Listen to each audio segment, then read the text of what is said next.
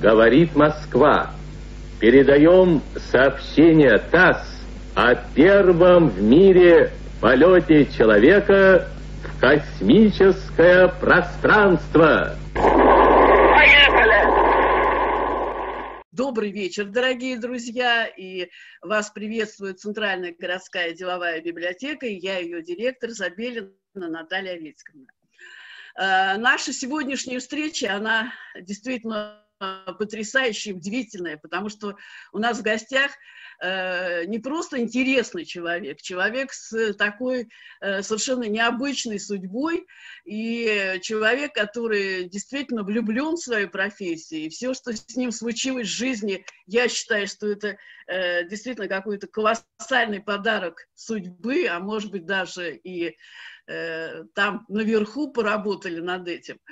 Э, и мне очень приятно представить летчика, космонавта, героя России Александра Ивановича Лазуткина.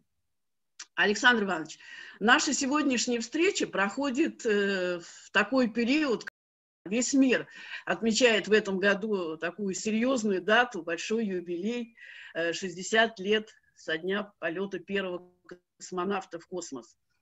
И, конечно, э, я в первую очередь поздравляю вас, поскольку вы имеете непосредственное к этому отношение. Мы-то там не бывали, пока еще, но все возможно, возможно. Поэтому вы там были, вы видели устройство космоса, у вас есть свое понимание уже теперь реальное, потому что э, все, что вы видели, это, безусловно, такой отпечаток на всю жизнь, что называется.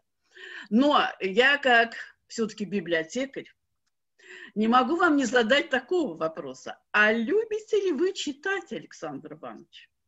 И что вы читаете? Какой ваш любимый автор? Какое любимое произведение? Если таковое есть, конечно. Так, ну, во-первых, добрый вечер всем, кто нас слышит, кто нас видит. Э, насчет того, интересный я человек или неинтересный, попробую не ударить в грязь лицом. По крайней мере, я действительно космонавт. А, теперь вопрос-то был, люблю ли я читать? Люблю. Я люблю читать. Я люблю чувствовать запах книг. Вот это вот страницы листать. То есть я, наверное, старый читатель, поэтому вот люблю читать те книги, а вот электронные как-то не идут у меня. А любимого писателя у меня нет, потому что, наверное, так же, как и нет э, любимого блюда. Mm-hmm. Ну, как интересно. Да, да, да. Вот. Ну, любимый жанр есть. Это фантастика. Mm. Так, а, да. Вот. Причем э, научная фантастика такая хорошая, того времени, которое было раньше. Фэнтези не очень, не люблю, даже как-то вот не идет у меня. Вот, люблю исторические книги. Но это я, вот, скажем так, недавно стал любить, потому что, наверное, уже стал взрослый и понимаю ценность истории в нашей жизни, ценность истории в нашей жизни. Вот. Э, поэтому на этом бы я бы завершил вопрос, ой, ответ на ваш вопрос. Александр Иванович, ну у меня тогда к вам будет еще один вопрос. Э, он вытекает из предыдущего. Э, вы как-то сказали, что вы пишете книгу. И было это, пожалуй, года два, может быть, даже три назад. Вот хотелось бы понять, судьбу этой книги, она все-таки дописана до конца, или вы еще продолжаете над ней работать? Ой, это вот боль моя. А, ну, я, я, я действительно пишу, и скорее, скорее всего, я написал, то есть я под, э, подготовил к, к изданию эту книгу, вот. Э, не знаю, поставила ли я там окончательную точку. Угу. По крайней мере, я ее какой-то сделал такую завершенную. Угу. Вот. Э, но еще есть о чем писать. Вот. Ну, чтобы так представить себе, что это за книга, я начал писать ее, это, это был как полетный дневник мой. Угу. Летел в космос. О, это интересно. О, интересно. Вот. Э, вот, вот с такими же чувствами я и полетел. Думаю, ой, это интересно, я же приду туда, я буду писать, и потом меня будут читать, и вообще я стану знаменитым человеком, не только космонавтом, но еще писателем. Вот. Но когда начал там писать, очень быстро почувствовал, что у меня ничего не получится, я не могу писать эти все правильные предложения, не могу описывать красиво события. А, плюс ко всему на станции, как оказалось, довольно-таки ну, однообразная жизнь. Утром встали, покушали, стали работать. Поработали, позанимались спортом и, так далее. И потом спали. Вот. А работа тоже э, однообразная, хотя там эксперименты разные. Ну, ты подготовил аппаратуру, запустил эксперимент, снял данные, отослал на Землю. Вот, ну, день можно выдержать, два дня можно выдержать. Я вот там переходил от одной экспериментальной установки к другой. Вот, э, посмотрел на, на землю, она такая вот хорошая, это придало мне какое-то настроение и так далее, и так далее, и начал эксперимент под этим настроем. Вот. Ужасно мне плохо стало от этого. Плюс ко всему я еще и привыкал к невесомости, а это физически было плохо. Вот. И я выбросил. Сказал, не буду я писать, потому что ну, ну, не могу я сочинять особенно красиво писать. Думаю, не буду я таким писателем известным и так далее. Но командир мне как-то сказал, слушай, он показал мне свой дневник, в котором mm-hmm. я увидел это, просто было вот, вот такая, был такой блокнотик, который так в длину открывался. Mm-hmm. Mm-hmm. Он писал, э, дату ставил, э, номер рейс, о, номер рейс, номер витка. Хорошо номер листа, время, время и, допустим, эксперимент такой-то. Все. Или обедал. И все, он подчеркивал. Я говорю, некрасиво. Он говорит, это я для себя пишу, потому что это потом у меня в памяти останется, и я как-то ну, буду уже нормально все вспоминать, если, если мне нужно. Угу. Вот. И вот эта вот фраза «это я для себя», она у меня что-то такое вот запустила процесс, и я понял, что а буду-ка я писать это для себя. И теми словами, какими я хочу писать. Вот какие в голове. Я не буду думать о, об орфографии, о синтаксисе, вот это, это, это. Я пишу для себя. Вот если мне плохо, я пишу, мне плохо. Угу. Вот, э, и все. Без всяких этих выкрутаться, на что там и так далее. И ну, четко понимал, не для печати. И я пошел писать. И получалось так, что я и писал-то этот не тогда, когда надо писать, как писатели не садятся, пишут, говорят, вот нам нужно сегодня там столько листов написать. Да, две, две странички написать. А я стал писать только тогда, когда вот это событие мной овладело, то, чего я хочу. Вот, mm-hmm. в принципе, получалось так. Я хочу выразить свои эмоции. Вот если они спокойные, и я хочу их выразить, я пишу там так. Если у меня вот там вот все это бурлит, а это, как правило, было с этим бурлением, э, бурлением связано, потому что работа, она у нас было вот так много работы. Вот, во-первых, это не куча нештатных ситуаций, они прям шли одна за другой. И, и я помню, что и периоды у нас были такие, когда ты вот как выжатый весь, угу. выжатый лимон, и ты уже вот, у тебя чисто психологически тебе тяжело. И я начинал писать, и мне становилось легче. Помню, помню великолепные ощущения, когда вот у нас была э, такая нештатная ситуация, когда в нас врезался грузовой корабль, он разгерметизировал станцию, да, и мало того, что там воздух уходит, еще станция вот так вот крутится. И мы день боролись, ночь боролись, еще один день боролись. И вот вечером ложимся. То есть мы поборолись. Все, мы его побороли. И командир у меня сразу уснул, потому что я, рядом он был. Крепкие какие нервы, молодец. Нет, После ну, такого погрома-то. Ну, нет, ну мы же выжили, мы же все это... Так молодцы, это, это просто удивительно. Вот. Так вот, он, он уснул, и я тоже вот глаза закрыл, думаю, я уснул, а потом думаю, что-то мне не хватает. Я открыл свой этот э, ноутбук, начал uh-huh. писать.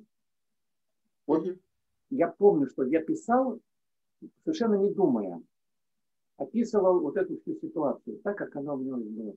И когда я поставил последнюю точку, вот понял, что я все выложил, я закрыл этот ноутбук и уснул. То есть это я впервые почувствовал, а, что э, надо выражать свои чувства, свои ощущения, и что это даже может иметь целебный эффект. Искусство лечит. Слушайте, как вы это замечательно сказали, искусство лечит. Но вы знаете, вот вы сейчас так вскользь коснулись вот этой ситуации, ну, как вы ее называете, внештатной. Но ведь, слушайте, э, пожар на борту, разгерметизация, это вообще стоял вопрос э, жизни и смерти, вообще быть или не быть. А вы так об этом так сказали легко, да, там мы что-то поделали, что-то потушили. Слушайте, это же как, это же где-то там далеко, и рядом никого нет. Не приедет пожарная машина, не приедет техническая служба, которая там как-то поможет. Слушайте, это какую силу воли-то вообще надо иметь, чтобы морально с этим справиться? Даже не технически там, допустим, да? Я вообще э, просто изумлена. Нет, ну, я тогда немножечко э, все-таки закончу про книгу, потому что мы... Да. Я вас увлек своим рассказом. Не то слово. Не, не то слово. Немножко не в ту сторону. Так вот, а, я это писал. Я приземлился. У меня все было на дискете. Вот. И, э, а когда вот это все заканчивалось, я думаю, вот чем мне, где точку поставить? Вот. И я понял, что, наверное, точку нужно поставить, когда меня в экипаж назначат. То есть это будет такая реабилитация. Если э, сразу после полета говорили, мы вот этого и этого не хотим видеть в отряде, вот. Ну, командиры моего списали по здоровью, потому что мне там сердцем было плохо. О, Господи. А, я еще боролся. И я вот так вот ждал, думаю, вот и как только меня назначат экипаж, я поставлю точку. Вот, но меня назначили в дублирующий экипаж. Я думаю, наверное, некрасиво. Дублирующий это тоже, наверное, неплохо, я считаю. Да, ну, думаю, э, там была перспектива еще. Угу. Вот. И дальше думаю, вот, меня, и когда, и меня назначили в основной экипаж. Я думаю, вот я точку поставлю. Вот реабилитация-то и пришла. Но, Полностью. Но э, я подумал, наверное, будет хорошо, если я... У меня же есть первая часть, описанная, полет, угу. потом да. полетная часть, а потом еще один полет будет, и я уже его соединю.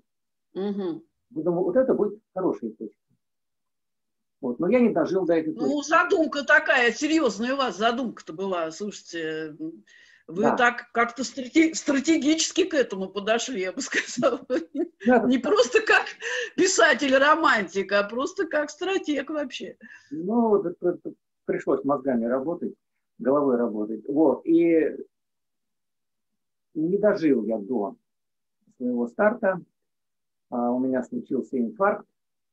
Там на подготовке.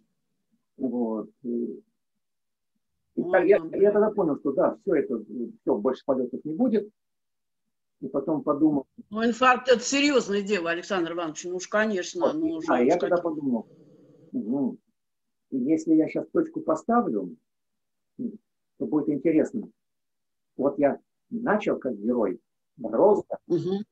а потом опять боролся, и вот по нисходящей так что. И вот она точка, когда я больной. Она ну, вы знаете, вообще спорный вопрос. Вот я не считаю, что это по нисходящей. Вот, вот извините, но не могу согласиться, потому что вы добились чего хотели. Вы восстановились в отряде, э, причем из, э, э, так сказать, из дублеров вошли в основной отряд.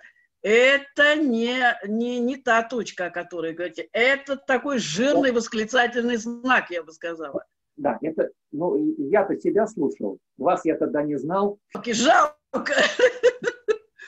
Вот, ну, короче, короче, там начался, я думаю, надо выкарабкаться вот из этой ситуации, посмотреть, потому что она тоже интересная была. Вот то, что вот, вот, как сам инфаркт произошел, что потом развил, как это было. И я это так вот уже описывал, опять же, в том же, э, в том же, в том же ритме, в том же, не менял стилистику вот этого писательного процесса uh-huh. в стиле полетного ледника.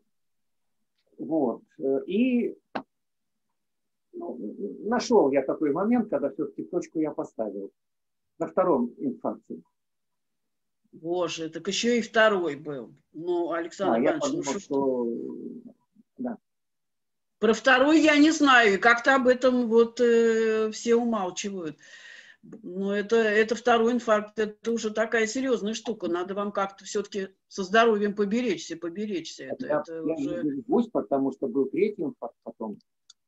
Э, но Каш. Я, я, я берегусь, берегусь. Ну уж, пожалуйста, Пока. очень вас прошу. Ну. Вот, нет, ну, в общем, по книге сейчас закончим. Вот, э, как-то я вот понял, что вот уже весь, вся вот эта история, она имеет начало, имеет такой логический конец. Все, все, все, все. Э, не все, но то, что там я писал, так это, чтобы не было этой Угу. Винегретом а было красиво, э, приятно на вкус. Вот. И сейчас пытаюсь ее издать. Ну, посмотрим, что получится. А в чем проблема издать книгу? Может быть, вам нужна какая-то помощь? Я готова подключиться, потому что у нас очень много издательств, с которыми мы работаем, да, они за честь почтут э, издать вашу книгу, если есть, конечно, такая проблема. Я если думаю, нет. что вот мы с вами встретимся. Да, я думаю, мы, мы об этом еще с вами обязательно поговорим.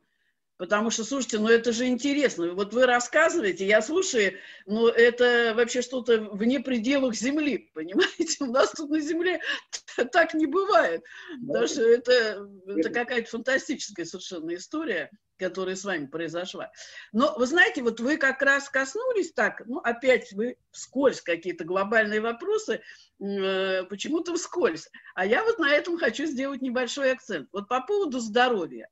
У нас есть с вами еще э, третий участник нашей встречи, Максим Александрович, вы как раз что-то там хотели спросить по поводу здоровья космонавтов, как они там лечатся в космосе. Я вам предоставляю слово, пожалуйста. Большое спасибо. Добрый день, уважаемые слушатели. Добрый день, Александр Иванович. Очень рад с вами познакомиться. А, в первую очередь хотел поблагодарить вас за то, что вы нашли возможность провести эту беседу. Э, я тоже, как правильно Наталья Витьковна заметила, подготовил ряд вопросов. Ну, надеюсь, они будут актуальными, потому что благодаря вам у нас есть такая возможность пообщаться с человеком, ну, на мой взгляд, редчайшей профессии. Это будет, безусловно, интересно для всех. По поводу здоровья. Вот такой вопрос родился у меня в голове. А вообще, вот когда космонавт уже находится значит, на космической станции, э, может ли он чем-то заболеть, и если, не дай бог, да, вообще как это все происходит, как это происходит процесс выздоровления, вот какие-то меры в связи с этим в таких, ну, в общем-то, мягко сказать, ограниченных вот условиях. Такой вот вопрос. Скажите, пожалуйста. Нет, ну, во-первых, заболеть он, конечно, может, потому что уж то, что а болезнь это такая вещь непредсказуемая. Я, я надеялся, а вдруг... А, а вдруг они там не болеют все-таки? Вот. Но просто вероятность там заболевания э, крайне мала, потому что э, у врачей есть четкая задача отправить нас туда, чтобы мы были гарантированно здоровы. Угу. По маленькой вероятности, что там где-то там простынем, кого-то ну, что-нибудь подхватим, там какой-нибудь внеземной вирус, может быть, да. Но угу. это маленькая вероятность. Вот. Но, тем не менее, какие-то заболевания там есть. Ну, кто-то там простыл. Угу. Вот, э, ну, я не буду наш там полет приводить, пример, потому что там мы с врачами долго общались, много общались и плодотворно общались. Угу. Вот. Но, э, значит, если человек заболеет, то он может, может. На Земле группа врачей всегда слушают, слушают центре управления полетом, как говорят, как что говорят, как, если они жалуются, то они могут э, в такой приватной беседе с, доктором решить свои проблемы. Э, на станции есть э, великолепная аптечка подготовленная, mm-hmm. я бы так сказал. Вот так надо делать, вот такие аптечки. И проблем не будет. Не нужно строить там большие. Это ладно. Вот. Плюс ко всему мы сами проходим э, медицинскую подготовку. Э, можем помочь. Вот. Мы даже То есть можем... оказать какую-то первую помощь, э, вы как бы... А, как... Первую помощь, да, да, да. Ну, мы можем еще что-то порезать, потом зашить чего-то. О, мам дорогая.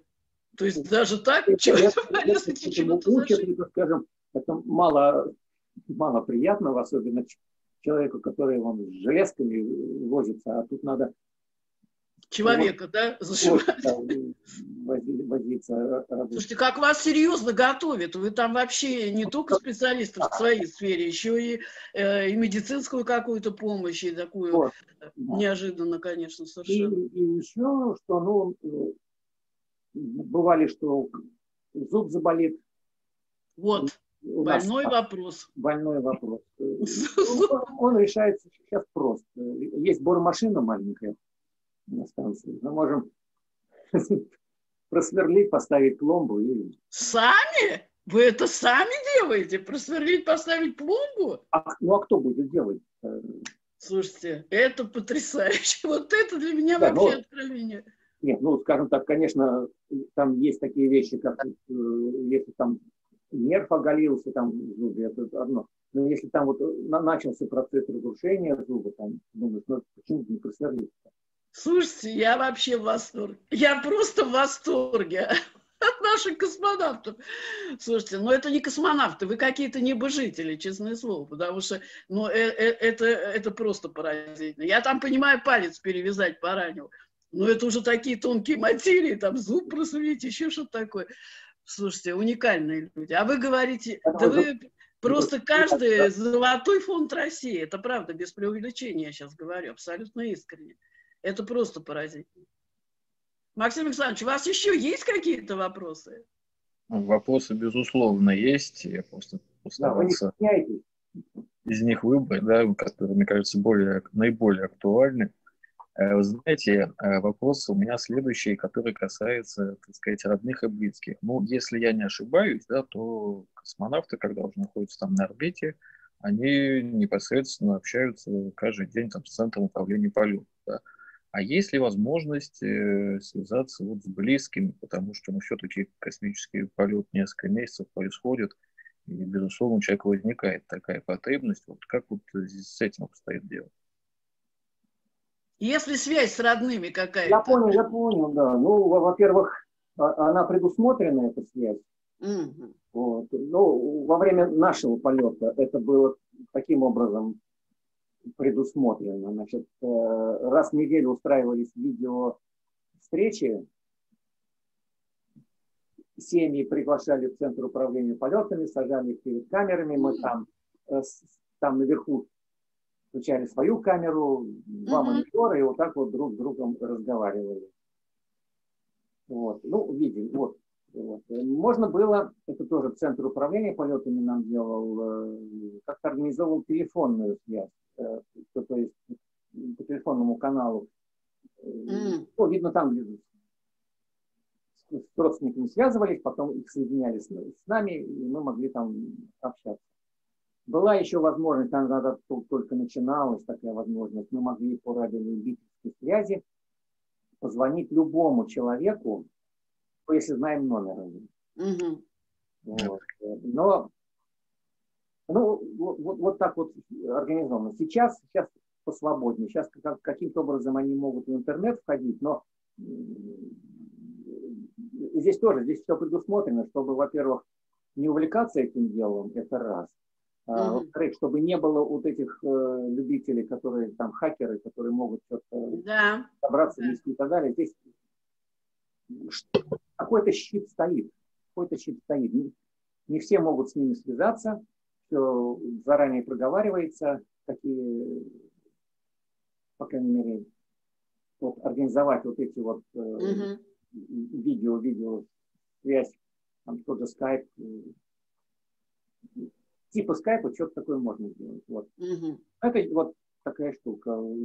Ну и просто дополню такую ну, это, наверное, это хорошо, все-таки, ну, как-то увидеть родных людей. Мне кажется, это морально поддерживает э, там, там далеко от земли, условно говоря. А может быть и расстраивает, знаете, не, увидел и расстроился. Ну, так не быть. Я сейчас просто так вот ну, маленькую точку еще свяжу вот эти возможности с, с нашим полетом. Угу. А, у нас-то ведь все ломалось, да, и, у вас там что-то, вам вообще как-то повезло. Включая, да, ну, включая и ту аппаратуру, которая эти радиосигналы передает. Угу. А, а, исчезало электричество, которое Поэтому и, и вот эти связи с родственниками, они были сведены к минимуму. Ну, к, возможно, к возможному минимуму, так скажем. Потому что э, даже когда есть связь, что, ну, допустим, после пожара, вот, да, подошло время родственников показывать, там, ну, встречаться с ними. Но кто им даст время, если тут пожар случился, надо поговорить с специалистами. Вот, поэтому у нас большие перерывы были вот, в в таких встречах с родственниками. И ну, потому что у вас там э, особая ситуация. Видите, вам за полгода вам вообще пришлось преодолевать какие-то немыслимые препятствия, вот честное слово. Ну, как, как-то все наложилось, и пожар, и там разгерметизация, я не знаю, ну, вообще вот, все, что только, вот, все, что только могло вообще.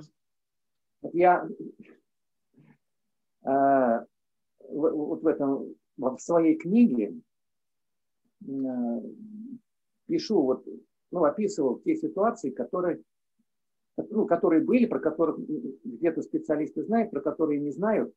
Просто вот интересно, после полета, когда я стал встречаться с общественностью, и говорят все время одну и ту же фразу. У вас там было очень много всего, очень много нештатных ситуаций. Расскажите о пожаре, расскажите о столкновении. У вас было очень много ситуаций, когда вы были там вот на грани жизни и смерти. Расскажите, как вы тушили пожар, как вы там, со, со столкновением, там, с разгерметизацией.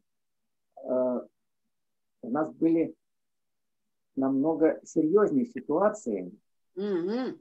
э, которые не столь, не, не столь эффектные, но которые по своей, по своему, наверное, вот э, эмоциональному такому наполнению, они были вот намного сильнее, чем это. То есть это не, радость, а вот наоборот.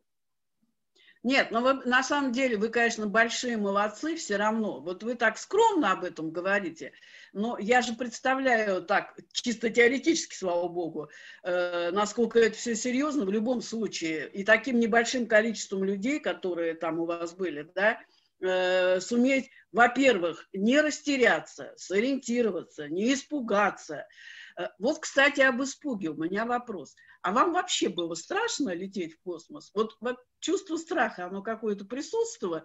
Или вы так решили для себя, а, будь что будет, все равно полечу? Вот не страшно и все. Ну, Или ну, все-таки что-то такое было? Не, ну вот скажу, ну если честно сказать, а, не страшно. Не страшно? Но здесь не то, что я, я вот такой вот бесстрашный человек. Просто когда э, подошла очередь мне туда садиться, угу.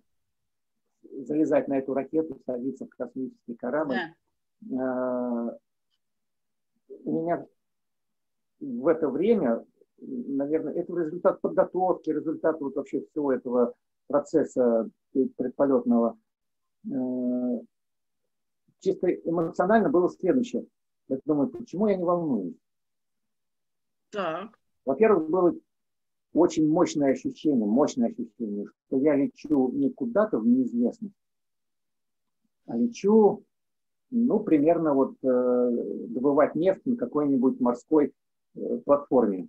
Mm-hmm. сейчас меня вертолет поднимет с большой земли, отвезет туда и через полгода привезет. То есть полное ощущение, что я лечу на работу, не новое что-то открывать.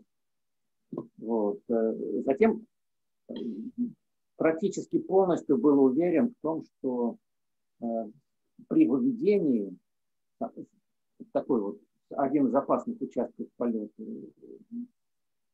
ну, если даже что-то произойдет, то я останусь жив, потому что система аварийного спасения тогда уже показала себя на практике, когда даже когда ракета взорвалась на старте, экипаж спасся.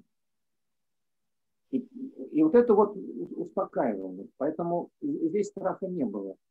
Вот. Но опять скажу, это результат не моих там генов врожденных там и так далее. Результат вот этой вот работы. Ведь, э, ну, наверное, она вся подготовка, она связана с тем, что немножко делает нас э, невосприимчивым, таким толстокожими в этом плане. Нас угу. учат вот в экстремальных ситуациях э, работать. Вот так, все тренировки они так проходят, ну не все, вот, проходят есть специальные тренировки, когда вот тебя заставляют.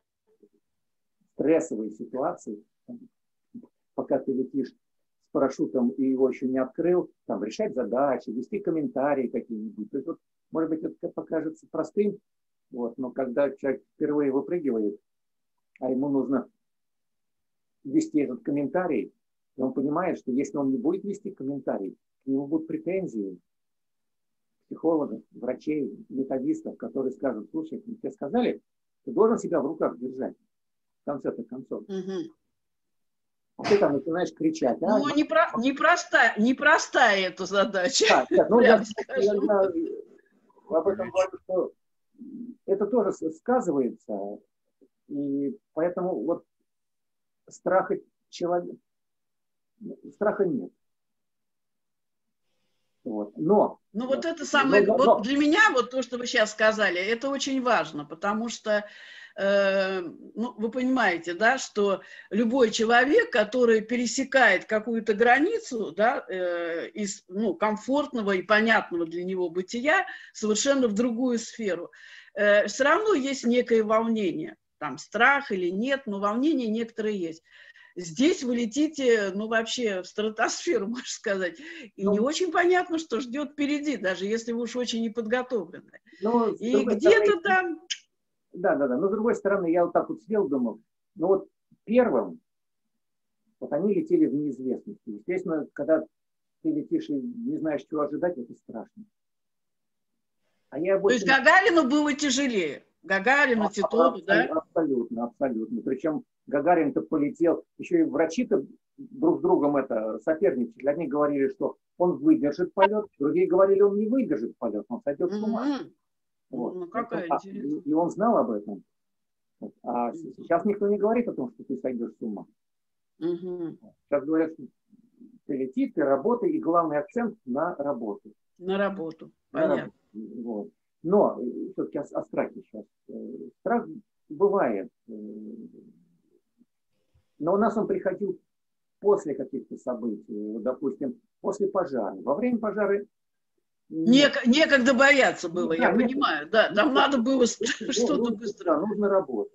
А, когда было столкновение, вот эта разгерметизация станции, вот, угу. я помню, что я до последнего я работал, и у меня мысли были только одни. Успеть, успеть, успеть. Как угу. только мы закрыли люк, как только видели, что давление перестало падать, спустя какие-то там секунды после этого у меня задрожали руки. Угу. И я на них смотрю и думаю, они что не дрожат-то? Никогда не дрожали, а тут дрожат. И вдруг они кисти задрожали, прям вся дрожь пробежала от рук по всему телу. Э, тогда мелькнула мысль, что это вот реакция после такого стресса. Но я не ощутил этот стресс э, своим мозгом, своим сознанием. А видно, вот подсознание, там, то, что, наверное, душа, она ощутила этот страх. Отреагировала, ну, конечно. Ощутила этот страх. И когда все завершилось, мозг уже дал команду, все нормально, и вот тут на тебе. И тряска, и страх тоже возник, что думаю, господи, что там это... Особенно, когда мы там еще посидели, разобрались, что было бы, если бы мы там не Ну, не, если мы, может быть, приняли бы другое какое-то решение, да, или растерялись, например. Ну, человеческий фактор, его же не, ну, невозможно э, не учитывать. А, это вот, я просто потому, что страх приходил после, и, э, но когда он приходит после, он не такой острый, он не парализует твои действия.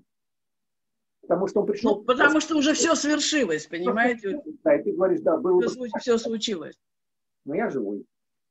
И слава Богу, Александр Иванович, и дай вам Бог долгие лета, потому что вы сейчас действительно живая история того, что было реально. Это не просто мы там э, с чьих-то слов, э, кто-то пересказал, журналист или еще кто-то. Вы реальный очевидец, и это очень важно. Вот когда это слушаешь из первых уст, что называется, ну и восприятие э, этих событий, оно, конечно, совершенно другое. Поэтому тут э, вам только можно пожелать э, здоровья и долгие-долгие лета. Это однозначно совершенно. Максим Александрович, у вас еще есть какие-то вопросы, что ну, вас да, там волнует? Ну, пожалуйста. Александр Иванович, мне кажется, такой немного будет короткий вопрос, но очень интересно узнать ваши ощущения. Э, вот в тот момент, да, когда космонавт э, готовится к взлету, и обратная ситуация, когда он уже собирается домой на Землю. Вот какие у него ощущения, что он испытывает, вот какие мысли в голове. Вот расскажите, пожалуйста. Ну, ну я про себя буду Что говорить. сильнее? Вот я бы, я бы усиливал этот вопрос. Что так. сильнее? Э, когда ты взлетаешь или наоборот, когда ты приземляешься? Что радостней, что ли, я не знаю. Э, об, оба, это, оба этапа, они э, такие мощно эмоционально окрашенные такие. Вот, прям, mm-hmm. вот. Э, когда ты взлетаешь, для тебя это важно, и ты ощущаешь вот это все, что там происходит, перегрузку вот эту, по идее, вот, она вызывает некий такой восторг, и ты понимаешь реальность этого процесса, если раньше это все было имитировалось, это все там на центрифуге, ты крутишься. Вот. А тут в реальности. Это, в реальности улетаешь, в реальности, да. Вот, угу. вот эти все чувства были, естественно, там внутри что-то напрягается. Вот. Э. А когда возвращаешься, как, какие? Ну, значит, мы когда туда летели. Это было одно, и это было для меня все время это новое, это новое и это новое. Я как бы открывал для себя новое. Угу. Но я понимал, что я не первый. Все будет как надо. Вот. А когда приземлялись, я уже был другим человеком. Я э, вот эти вот череда э, вот этих вот нештатных ситуаций во время полета, она привела к тому, что, ну, во-первых, снялась острота ощущения всех этих нештатных ситуаций. Mm-hmm. Я перестал их бояться, э, волноваться. И более того, э, мозг, он как бы по инерции шел. Если не случалось нештатной ситуации, то для тебя это начинается волнительные минуты. Почему? Угу. Вот. И, и плюс ко всему, ты когда ушел, ты решил эту проблему с нештатной ситуацией, думаешь так, ага, вот теперь дальше что может быть? Там дальше вот такую систему будем включать, она может заработать, может не заработать. И вот если не заработать, то значит надо обратить внимание вот на это, на это. А на спуске это очень здорово так это сконцентрировалось, так приобрело такой более реальный вид, нежели спокойной жизни на станции. А на спуске я, когда мы отстыковывались, я подумал, что вот во время полета нашего случались ситуации, которые маловероятны. Mm-hmm. Это ощущение, что даже маловероятные события могут случиться. Плюс ко всему, я сам являюсь этим человеком, у которого все эти маловероятные события вот случились. Они... Думаю, а чего нас спуске не ждать? И я так это перебираю, значит, вот у нас вот это может не сработать, вот это, мы летим, корабль очень хорошо себя ведет. И ты так этап за этапом, ты, вот этап начинается, ты уже проигрываешь все нештатные ситуации, которые могут возникнуть. И вот он, этап заканчивается, ты переключаешься на следующий этап. Вот. Э, и там был даже такой этот интересный казус угу. ожиданий. Все практически все космонавты говорят о том, что когда корабль входит в плотные слои атмосферы, вот он горит там снаружи, это вообще замечательно есть. Но набегающий поток, а, он старается этот корабль развернуть, так как этому потоку нужно. Угу. Двигатели корабля, они борются с этим, они возвращают корабль в то положение, в которое он должен находиться. Угу. Поэтому вот эта вот работа этих двух э, сил природы и вот техники, она приводит к тому, что корабль вот так вот весь трясет. И трясет очень здорово. Практически все говорили о том, что заметить что-то на пульте управления невозможно. То есть он, он вот так ходит перед собой. И я приготовился к этому. И вот мы входим в плотные слои атмосферы. И ни одного вот этого колебания. Поэтому так, на, наверное, маленькая перегрузка. Но вот она перегрузка растет, вот она росла, вот она достигла максимума. Корабль словно раскаленный нож в масле входил.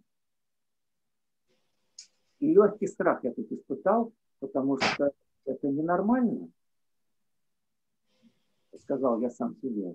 Что-то тут нехорошее должно случиться. Хотя это был идеальный случай. Это вот приятные ваши отношения. Ну, может быть, это вам была некая компенсация за то, за то что с вами там произошло, ну, хотя бы мягкая, мягкая посадка.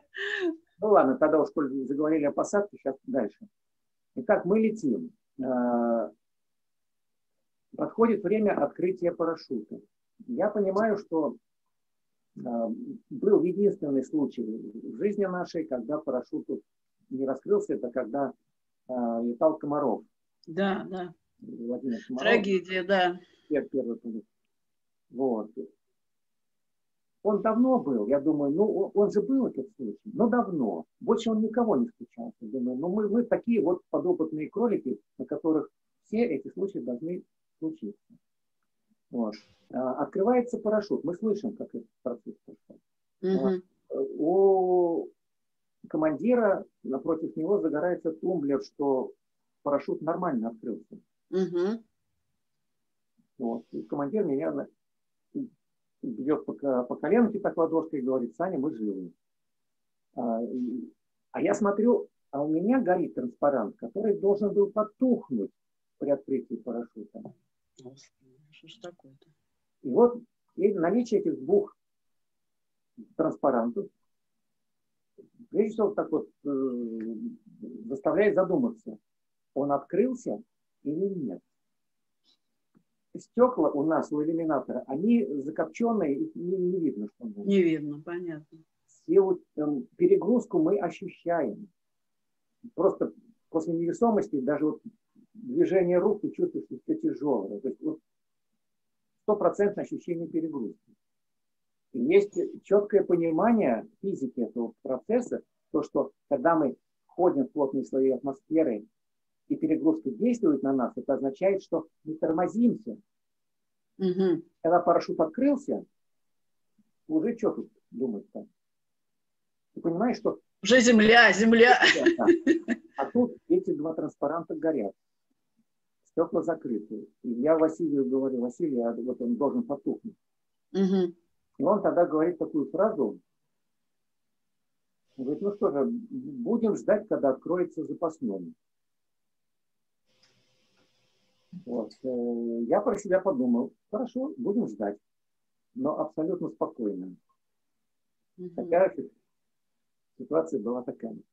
А, от, отстрелились вот эти внешние части иллюминатора, мы увидели, что мы шатаемся мягко, угу. что парашют открылся, что вот этот транспарант, который должен был потухнуть, это еще одна нештатная ситуация.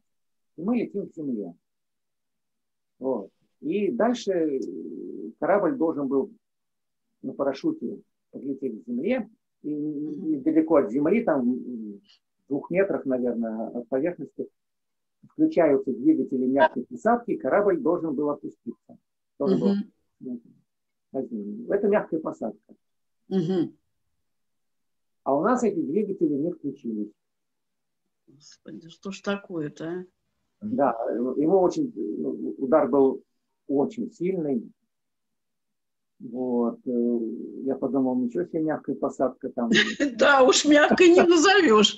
Это точно. Я-то был неопытный, я думал, вот она мягкая посадка. Хотя удар был страшный. Э, и мы когда в себя пришли, к нам подлетела группа, э, группа, человек открывает нам люк, Значит, смотрит на нас и говорит, мужики, вы как? Говорим, нормально. Он говорит, э, у вас не сработали двигатели мягкой посадки. Ничего себе. Вот, тогда, тогда я для себя понял, вот она последняя точка. Теперь космос меня отпускает. Вот таким подарком. Да. Что... Александр Иванович, вы знаете, что меня поражает? Вот меня абсолютно поражает тот факт, вы об этом говорите э, так, как, ну, а, знаете, вот в машине, ну, дворники не сработали, понимаете? Вот надо было зачистить стекло, ну, дворники не сработали. То есть я поражена вообще вашей стойкости какой-то совершенно, ну, нечеловеческой, честное слово. И более того, э, я поражена тому, что, несмотря ни на что, и вы понимали, что это был, ну, прямой риск и угроза вашей жизни – вы опять-таки пошли по этому пути. Вам все равно захотелось остаться в отряде космонавтов. Вы все равно продолжали э, эту работу свою. Это поразительно совершенно. Мне просто вот что на самом деле хотелось, думаю, вот если я полечу второй раз, да. э, я очень хотел э, ощутить, что такое полет без нештатных ситуаций. А такое вообще возможно, в принципе? Вот люди отлетали полгода, и ничего не произошло. Нет, ну вот когда мы полетели, когда мы полетели, вот перед полетом, я спрашивал этих космонавтов, опытных, я говорю, сколько мне их ждать в нештатной ситуации? Они, они бывают. Это... Ну, я думаю, наверное, да, конечно, ну, вряд ли так. Вот. Ну, да. Ну, мне сказали так, три, четыре, ну, максимум пять. Угу. И у нас Три нештатных ситуации, они произошли, мы еще к станции не подлетели, или вернее подлетели, вот состыковались со станцией. Летели, mm-hmm. и первая нештатная ситуация была на первой минуте уже движения по орбите. Вот. Третья нештатная ситуация, когда мы стыковались с этой станцией, там у нас авария произошла. И я тогда подумал, как здорово, полет только начинается, а у меня уже три нештатных. Вы уже практически программу выполнили по внештатным ситуациям. Да. Ой, да, вот это вот соизмерение двух дней с тем полетом с полугода,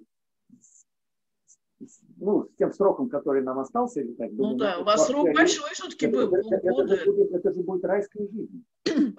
Райская жизнь. Вот, а через две недели там пожар произошел, я зажал четвертый палец, но командир мне сказал, ты знаешь, это была очень серьезная нештатная ситуация, она тянет на две. Да? Практически пять, пять вы выполнили этих ну, нештатных. Ну, две недели, пять прошло, все. Потому что человек сказал максимум пять. Кошмар. Александр Иванович, у меня к вам есть вот еще какой вопрос. Э, ну, как-то много об этом говорили, но вы как э, человек, который, можно сказать, у истоков там стоите, э, все-таки у нас существует коммерческий космический туризм или это плод фантазии и воображения некоторых Нет, отдельных? Туристы летают, они же уже человек семь, по-моему, слетало за деньги. Ну, а вот мне интересно, ну, допустим, какой-то состоятельный человек решил туда полететь, да, как бы в космос ну, это все хорошо, но он туда летит подготовленным. Э, ну, вот то, что вы рассказываете, тут надо иметь какое-то недюжинное здоровье вообще, понимаете? И, и в то же время силу воли и так дальше. Они-то туда летят подготовленными, или это просто обычные люди? Нет, нет, их готовят просто в силу того, что они не должны быть грузом для нас. Mm.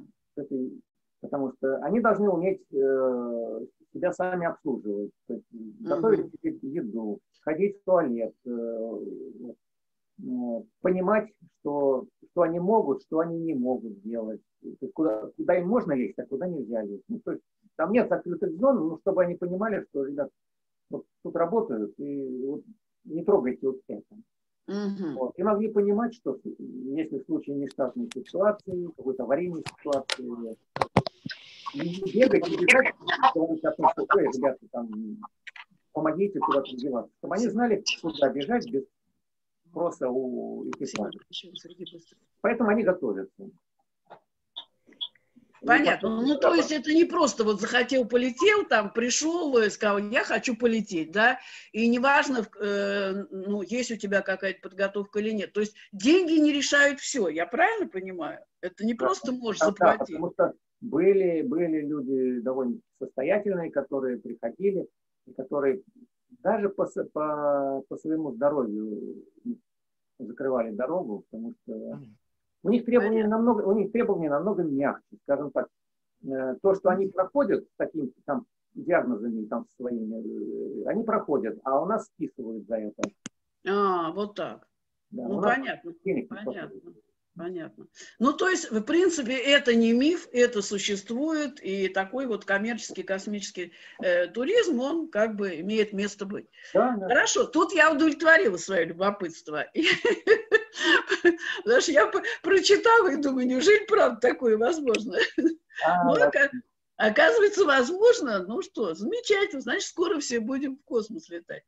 И у меня еще вот есть один вопрос, который касается уже вашей такой общественной деятельности, потому что я вот э, ну, довольно так детально изучила Википедию вашу постполетную жизнь, да, как бы, и вы такой достаточно активный, социально активный человек, у вас столько программ, у вас есть и про программы для молодежи, вы много что делаете, вы много где выступаете, как вы это все, когда успеваете-то вообще? Я не знаю. Ну, во-первых, э, я скажу, что это такой естественный процесс. Вот. Э, после полета я совсем не собирался этим делом заниматься. Тем более, да. тем более с детьми мне я не, не считал себя, я не люблю, профессия педагога мне была неинтересна. Не близко, не близка, скажем так. Ну, да, не близка. Вот. Поэтому э, но судьба так меня все время сводила к тому, что у нас есть общественная деятельность у всех космонавтов. Вы там должны там встречаться с общественностью. Вот. Но мне попадали всегда дети.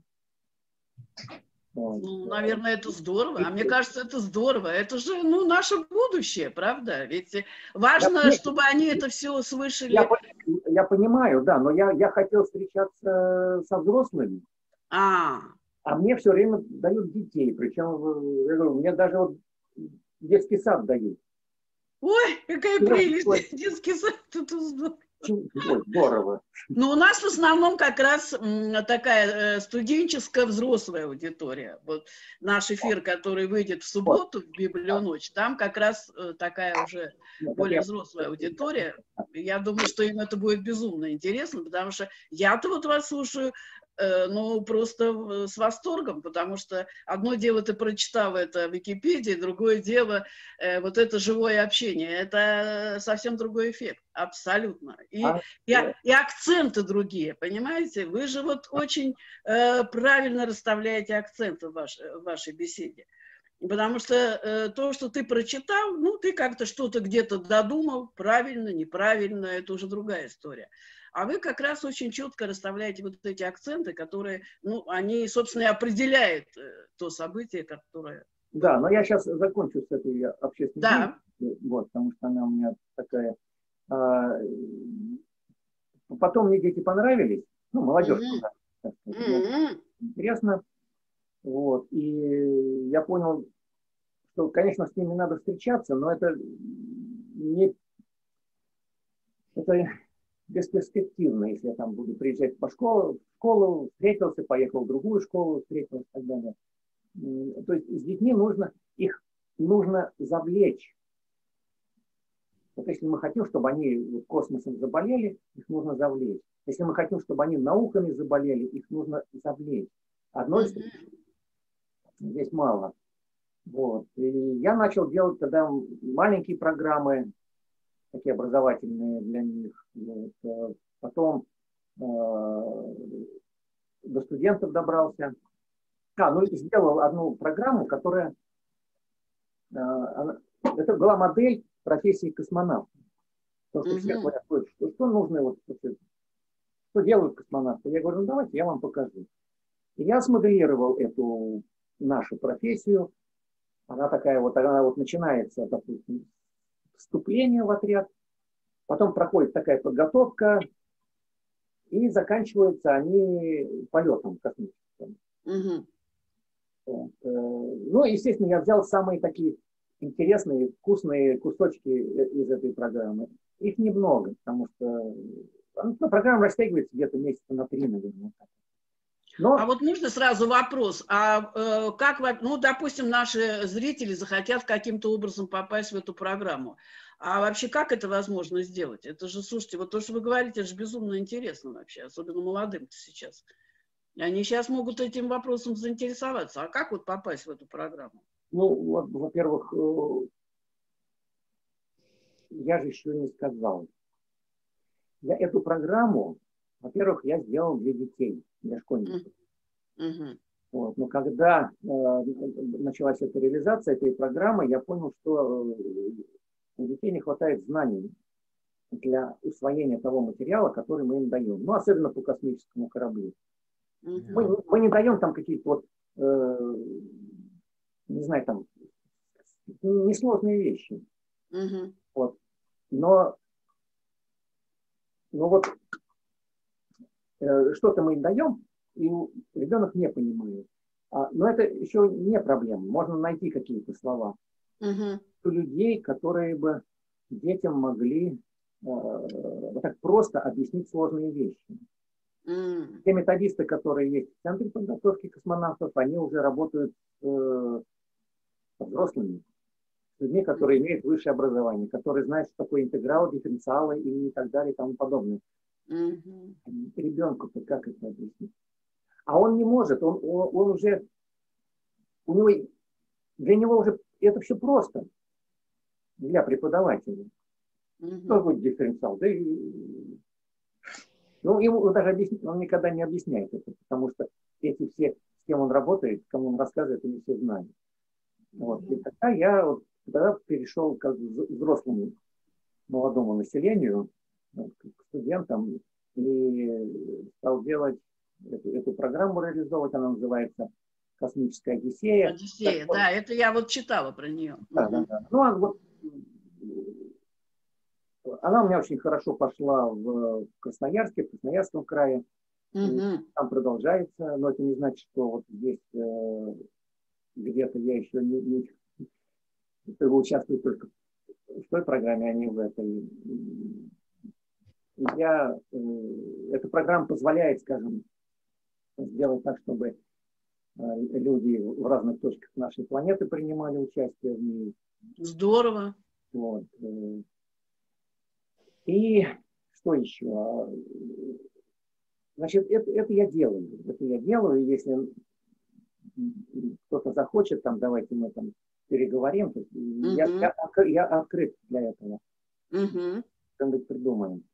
Э, просто еще нужно учесть, что для того, чтобы эти программы делать, финансы нужны. Это да. Я готов сколько угодно рассказывать, даже мне это не интересно там за это деньги брать, просто это не то. Но такие вещи, как там э, тренировки на выживание, Понятно. у нас там МЧС задействованы. Угу. Тоже они идут навстречу, не берут там эти миллионы. Вот. Э, спортивные центры у нас задействованы, там, спортивная медицина, то есть врачи, они там uh-huh. их обследуют. Uh-huh. Вот. Э, полеты на самолетах, э, дорогое удовольствие.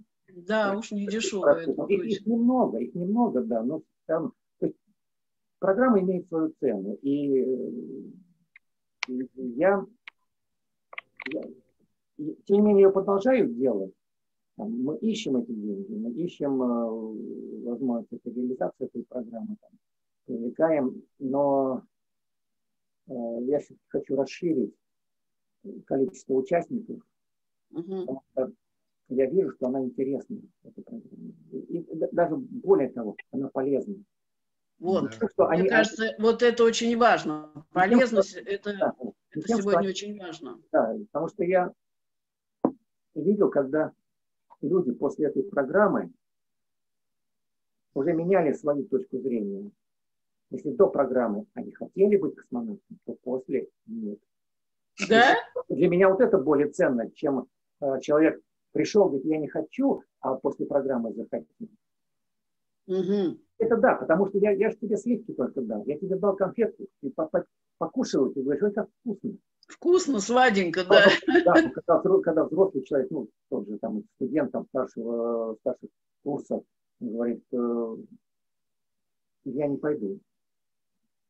Он почувствовал, что это, эта профессия не его, и значит, он уже определился. Ну, так это главное, наверное, да, да чтобы да. от романтики перейти к какой-то к реальности, да, что, ну, наверное, это так романтично звучит, но когда ты понимаешь, что за этим стоит, то ты понимаешь, что это труд колоссальный, прежде всего, колоссальный труд, это вне всякого сомнения, это точно. Александр Иванович, и э, хотелось бы чуть-чуть статистики такой, ну, условной, да. Э, сегодня в отряде космонавтов примерно сколько вот человек? Ну, в России, я имею в виду, ну, вообще. Э, таких действующий отряд, там, где летавшие не летавшие, те, которые находятся на подготовке, он э, все время держится в районе 30. Угу. Вот. То есть это те, которые готовы к вылету, я так понимаю, да? Это те, которые, там есть люди, которые готовятся, которые только uh-huh. новенькие поступили. Uh-huh. А, ну, скажем, есть летавшие и не летавшие. Uh-huh. Но летавшие постепенно уходят. Ну, понятно, да. должны подпитывать это. Uh-huh. Вот. Понятно. Если, если все делается так, ну, бывает так, что там набирают одного, двух человек, там, трех человек э, за два года. Угу. Вот. Но бывает, когда вот если появляется программа, ну вот сейчас, допустим, появится она, то есть понимать, что нам там, через пять лет нужно будет иметь э, там, на 10 человек больше, значит, ну возьмут еще человек 15. Понимаешь, что... Но желающие есть, да? То есть претенденты есть, кто хотел бы конечно, попасть. Конечно, конечно. Но профессия не утратила своей а, такой привлекательности. Привлекательности, да, это романтики, то есть здесь... Э, это правда все равно для нас, для всех космос, ну, это мечта, это такая какая-то фантазия, фантастика, я не знаю. Это что-то вот нереальное, понимаете? Это то, что нельзя потрогать руками, и можно только подняв глаза к небу, романтично думать, а как там, есть ли там жизнь-то на Марсе или, или все-таки ее нет, как пели. Сейчас, сейчас слушаю вас и думаю, интересно, э, интересное рассуждение человека, который вот здесь получил эти все знания об этом мире, в котором мы живем. Он знает, что есть звезды, есть солнце, да.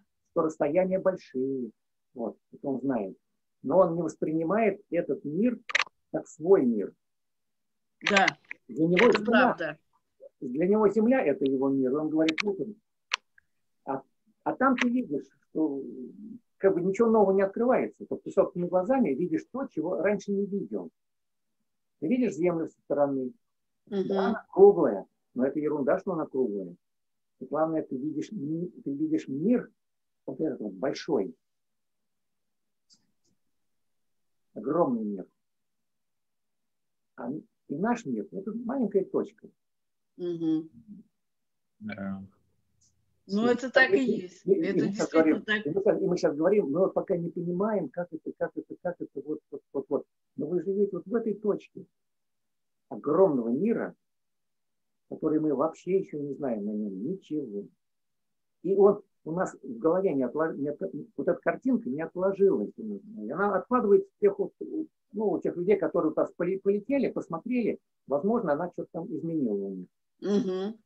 Ну, по себе я говорю, да, изменила, потому что это было э, э самым таким большим приобретением, то, что я почувствовал. Что мне дал полет? Вот он мне дал вот эту картину мира.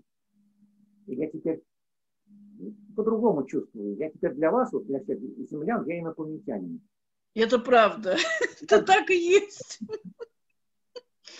Да, вы вроде земной человек, но в то же время вы для нас э, человек оттуда, понимаете? Потому что вы это, ну, по крайней мере, видели, ощущали. Мы-то нет. Да, интересно, это вот ваша точка зрения. А тут я-то такой же, как и вы. Я вот прохожу где-нибудь в метро там, по вагону, иду, и вот просто интересно, думаю, вот они сидят, эти люди. Да. И вот я такой же, как они. Но я другой иду. Я с другими мыслями иду. И я для них. Они для меня. Немножечко чужие стали. А вот эту интересную я... фразу вы сказали. Вот то, что люди для вас, восприятие людей все равно немножко другое, да? Я правильно вас понимаю? Ну, я здесь ну, я бы так сказал, я чувствую себя инопланетянином. Ну, в хорошем смысле слова. Я не, не сошел с ума там, не как-то не, не хожу. Просто я этот мир ощущаю по-другому. И я вижу, как бы я поднялся вот над всеми вами. И, кстати, вот э, то, чего я хочу вообще, вот, э, вот, занимаясь этой общественной работой, я понимаю, что Э, вот только полетев туда, человек увидит эту картину, и у него изменится все в голове. И чем больше туда будет летать людей, тем больше будет э, здесь вот это мнение разрастаться. Я думаю, ну это долго ждать, пока они там по одному, по два, по три, по четыре человека в год летают. Это у нас 7 миллиардов. Мне хочется, чтобы, да. мне хочется, чтобы вот это понимание мировосприятие мое, оно как можно больше здесь людей охватило. И поэтому я стараюсь вот делать такие программы, чтобы засунуть этим в голову детям, молодежи, чтобы они уже стали другими. На многие вещи смотреть по-другому. Потому что это не только слегка так может быть ненормально чувствовать себя инопланетянином, но это позволяет уже и все земные свои дела, свои поступки соизмерять с тем, что мы не в этом мире живем, в этом маленьком, а мы живем mm-hmm. в огромном мире, и там свои законы, но не те, которые здесь. Надо жить по этим законам. Ну, мне так кажется. Нет, э, Тут даже, понимаете, я, я спорить нечего, потому что вы-то там были, мы нет. И у вас есть возможность сравнить, есть возможность переоценить да, какую-то нашу жизнь. Есть возможность, в конце концов, реально показать, э, ну, какое-то, может быть, э, переустройство мира, в чем оно заключается, и что должно быть в этом мире доброго, хорошего, ну, все то, что связано с человеком. Поэтому все, что вы говорите, это, в общем, абсолютно правильно, я тут с вами полностью согласна. Но, вы знаете, я думаю так, что наша сегодняшняя встреча, она была не просто интересной, это я могла предвидеть и ожидать. Э, все-таки зная вас немножко, а мы все-таки с вами э, встречались в нашей библиотеке, когда вы работали вот директором музея космонавтики. Но она для меня оказалась и несколько неожиданной. Потому что то, что вы рассказывали сегодня, ну, действительно, это заставляет задуматься, это как минимум. И э, самое, наверное, главное, это то, что, несмотря ни на что, вот вы лишний раз сегодня своим, своими высказываниями, своим выступлением показали, что э, в жизни всегда надо идти до конца. И надо свою точку зрения, свою позицию, гражданскую в том числе, ее надо отстаивать. Это абсолютный факт. И э, при этом вы остаетесь таким очень тонким, очень романтичным человеком, понимаете? Вот как у вас это все э, уживается, вот, вот это для меня, конечно, сегодня была загадка. Поэтому э, нам с вами было сегодня очень интересно. Очень интересно. Ну, я, скажу, э, я давно на... не получал такого удовлетворения от э, такого диалога. Обычно такой более простой. А вот сейчас вот мы затрагивали вещи, и я видел что вы, вам интересно. Это, это безусловно. Вот. Это было непростое любопытство, поверьте мне. Да, Я да, да. Э, действительно прониклась. Вот вы как-то смогли меня вот э, в круг ваших интересов погрузить, и э, неожиданно для самой себя я поняла, что чем больше вы рассказываете, тем больше мне становится интересно. И я надеюсь, что мы наш сегодняшний вот такой онлайн-диалог, безусловно, продолжим и при такой реальной встрече, и какие-то позиции, которые мы с вами сегодня наметили по поводу книги, ну и все остальное – я думаю, что мы обязательно э, к этому разговору э, еще вернемся. Я так полагаю, если вы не будете возражать. Ну, я не нахожу повода возражать. Замечательно. Ну что же, дорогие наши зрители, к сожалению, к великому сожалению, наша встреча подходит к завершению. И я хочу от своего имени лично, от э, вашего имени поблагодарить э, нашего чудесного гостя Александра Ивановича Вазуткина. И самое главное, что бы мне хотелось вам сегодня пожелать, это, конечно, здоровье.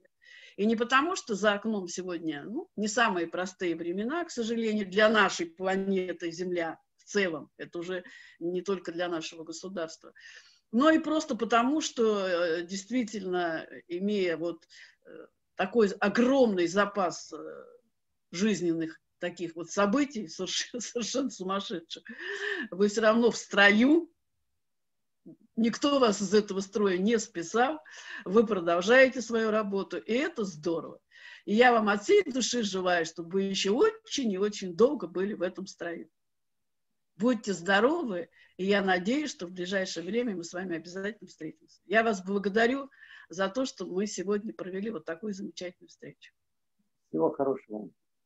Всего наилучшего. Спасибо большое. Спасибо большое. Он сказал, поехали, он взмахнул рукой, Словно вдаль по питерской, питерской Пронесся над землей.